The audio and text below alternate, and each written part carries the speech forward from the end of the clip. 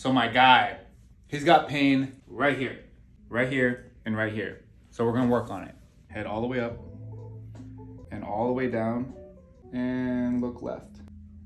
Down and pull it through.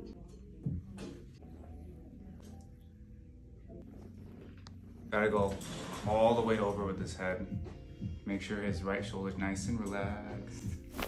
Good. And like C3 here. Gotta get this rib area like down. Go like right there. Perfect. Sometimes I wish I was a dog. You know what I mean? Yeah. Let me know when you can feel it there. Ooh. Are you glowing? I think I am. Yeah, he's a glow stick.